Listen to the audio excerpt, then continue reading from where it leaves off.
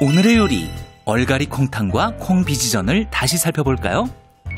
얼갈이 콩탕은 먼저 끓는 물에 소금을 넣고 얼갈이를 줄기 쪽부터 넣어 데쳐주세요. 얼갈이는 찬물에 헹구고 물기를 꼭 짠 뒤 먹기 좋은 크기로 썰어줍니다. 믹서기에 불린 콩, 물을 넣고 곱게 갈아주세요. 그런 다음 체에 면포를 깔고 그 위에 콩물을 부어 건더기를 걸러내줍니다. 냄비에 콩물을 넣은 뒤 뚜껑을 살짝 열고 끓여주세요. 여기에 소금, 얼갈이를 넣고 한 소끔 끓여줍니다. 마지막으로 그릇에 푸짐하게 담아주면 얼갈이 콩탕 완성!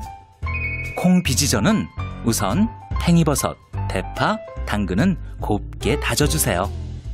그런 다음 팽이버섯, 대파, 당근, 콩비지, 밀가루, 소금, 물을 섞은 뒤 동그랗게 빚어줍니다.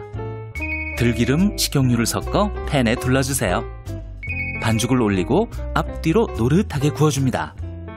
마지막으로 접시에 먹기 좋게 담아주면 콩비지전 완성!